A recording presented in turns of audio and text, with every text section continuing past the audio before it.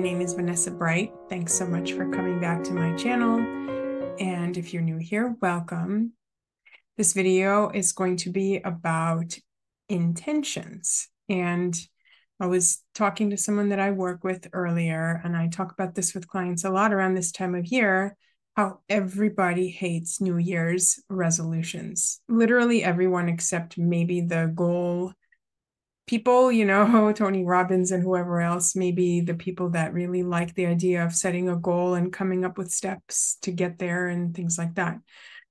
However, most people I work with, all the people I work with, everyone across the board, anyone I come across with in my life, they will say, I hate New Year's resolutions. They don't work. It's a it's a week of starving yourself or going to the gym or whatever, and then you just feel worse. So I'm here to talk about New Year's intentions.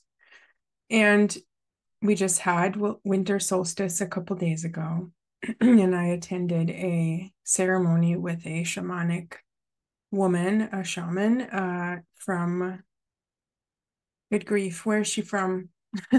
She's somewhere in Asia, and I apologize. I literally have never heard of that part, and I'm from Middle Asia myself, but I haven't uh, part of that part of the country, but um, part of the world. But anyway, she did a New Year's, uh, uh, rather a, a solstice, winter solstice ceremony where we reflected on this past year, things that went well, things that were calls to our hearts and calls to our bodies and calls to our lives and ways that we responded or reacted, right? This is an opportunity to look at, excuse me, to look at how did you do? How did you? And this is not about judging yourself. This is not about, oh, I screwed up in this way or man, I wish I didn't say that. It's it's a deeper look. It's a deeper look if you didn't do something that really in your heart you knew you should have um throw away the should and you know really is it something that you knew you needed to and didn't? And then what was that about right? How come? What fear came up? Really it's always a fear right? What was the obstacle? What was the thing that stopped you? How did you block yourself and this could be the tiniest little thing. Somebody needed help on the side of a road and you had an appointment and didn't want to be late and you just didn't stop. Right.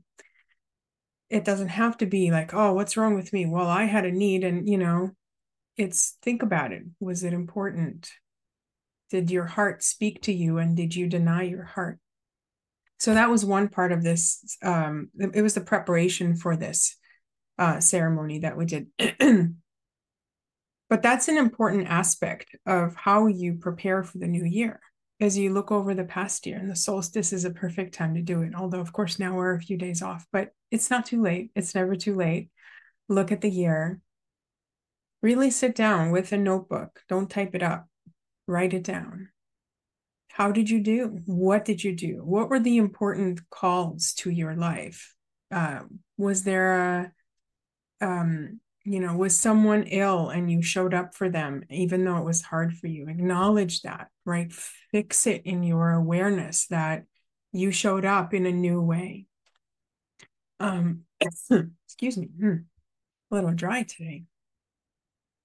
Um, and as much detail as you can remember. Most people only have so much patience or time to do this, but write down the big stuff. The other piece is the intentions for the following year. And I really like the word intentions because it puts the, it changes the energy from like a resolution has something very finite to it, whereas an intention allows the experience to unfold.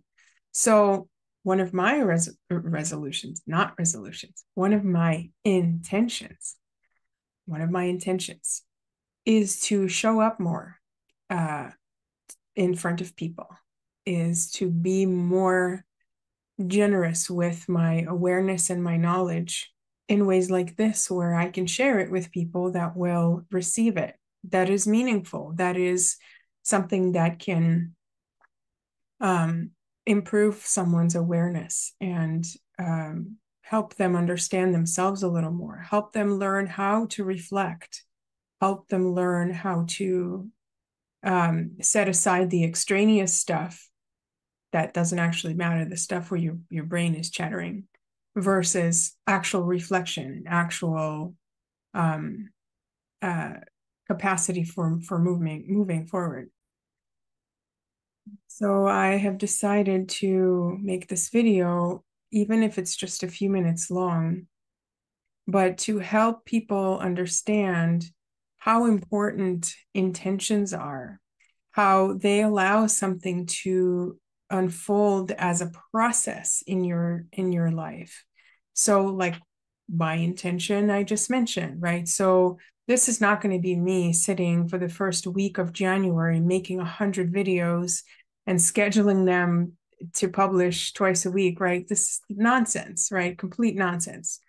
Versus I made the intention and then I paid attention to what was coming up. And I was talking to this person that I work with, and I didn't even think about it then because I was focused on them. But after the session, I happened to have a little time and I was journaling something different. And all of a sudden, it popped into my head hey, how about a video on this? Because I've made these intentions and I sat with them and I repeated them a lot. And I'll explain a little bit about that in a minute. but it came to mind. And so I said, Oh, this is one of those things where one of my intentions is to show up more and be generous with my knowledge and my awareness. Here's a piece I could share about. It doesn't have to be a book, it doesn't have to be a movie, it doesn't have to be a, a long, drawn out, you know, thought out, deep kind of structured whatever. It could just be a five minute video that somebody watches while they wash the dishes and they get something from it. And so I went, you know, found another break. And here I am making this video. So you see how, even just in this one little example, this is about the process unfolding. And I'm going to do this video. And, uh, you know, a couple days from now, I'll have an idea for another video. And it will stick a little bit more because I will have just done, I mean, this isn't my first video, so it's, it's a little different, but usually the resolutions or the intentions that people make are based in something that they are already thinking about, they're already struggling with. So it's going to be on your mind. However, that being said, we are in a three dimensional reality. We are in many dimensions, of course, but we are a physical being. We have things, we have items, we have bodies, we have eyes. We like and need visual reminders of ourselves and what is important to us. That's why we put up posters. That's why we put up post it notes. That's why, you know. So, one of the things that we did for this uh, winter solstice ceremony is create create something. I'm trying to get it from my desk here without making too much noise. Um, so I've never done this before, but this shaman told us to get four ribbons of four different colors and create this braid made of, of these ribbons. And as we were to make this braid, we were to repeat and intend our intentions for the following year and weave them into this braid. Um, which, you know, we then talked about there was more symbolic meaning beyond doing this that I'm going to just keep private because it has to do with my own personal uh, life. But we talked about it in in the ceremony, and she's a shaman, and she knew what she was talking about, so we could show her uh, our braids, and she would say certain things. So each color has a meaning in this cosmology. Green was earth, blue was air or sky, white was water and red was fire. And depending on how each of these lay in the braid and the length of the ends, um, that had meaning. But even that aside, you're not going to necessarily want to do that or need to do that. The point is, was, was, and is to create something that becomes a visual reminder. Um, this is why we wear charm bracelets too, right? And I have a bracelet too that reminds me of a, a retreat I just went on and how important that is to me. And I don't want to forget it. And I wove the intention into this bracelet so that I would see it every day, multiple times a day, and connect to what happened in this retreat more. But in years past, when I didn't know the shaman and I didn't make this braid, I would make a collage and I would have this collage as my um, uh, holding my intentions. Um, and um, I had this collage on my wall the entire year. And it's, you know, there's a this whole thing of vision boards and it's similar to that. If you don't, you know, commercialize it and think about I intend to buy a house or I, you know, or I intend to, you know, have whatever, right? It's not about stuff. It's about your inner process. How are you unfolding? How would you like to um, grow in the coming year, right? So the intentions would be things like I intend to open my heart more and live for my heart space. Now you need to figure out what that actually means because in in in action because if you just say that that's a sweet thing to say. You're never going to figure out what it what it is and how to actually do that. But it could be an intention with a list of things you're going to do to make that happen. It would be things like like what i said you know showing up more in the world. And how are you going to do that right? It could be things like i intend to have more courage and speak my mind. I intend to express my um, throat chakra more. I intend to sing more, right? and you see how each of these is a process. It, it illuminates your desire for a process and your intention to create that process in your year. And having something visual, having something, whether it's, you know, a, a, a bracelet or whatever, or um, a collage, a, a drawing, a painting, uh, whatever it is, be creative, right? Actually take the time. This is the whole thing too with we don't have enough time. Well, make the time because this matters. Because if you're not in your life fully, then w- what are you doing, right? I mean, come right down to it, right? Be honest. Do you, would you rather scroll on your phone?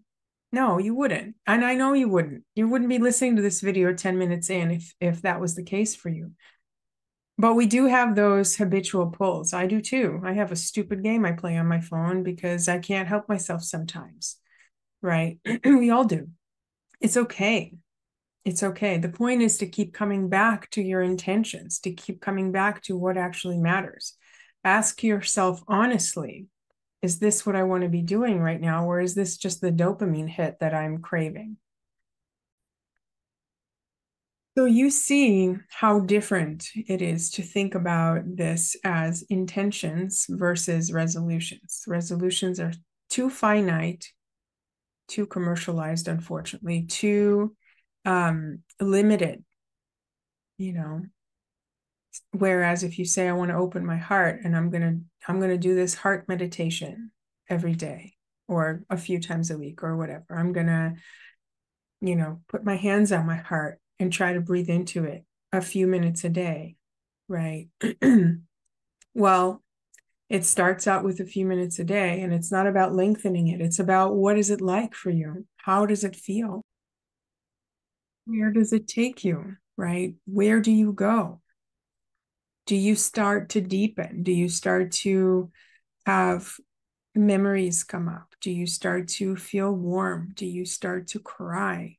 Right? Something unfolds, and that is the point. So, that is what I hope for people to take from this video. And I would be very curious if you did get to the end, write down, even if it's the middle of the year when you're watching this. What is that? What is this like for you? How does this help you? How does this change your your understanding of um, what is what does it mean to prepare for a new year? Do you have any intentions you'd like to share? it's good to share them. It's good to express somewhere where it's where it's going to be seen and understood and received. So I will end end with this. Thank you so much. Thank you for being here. I appreciate you and I will see you in the next video.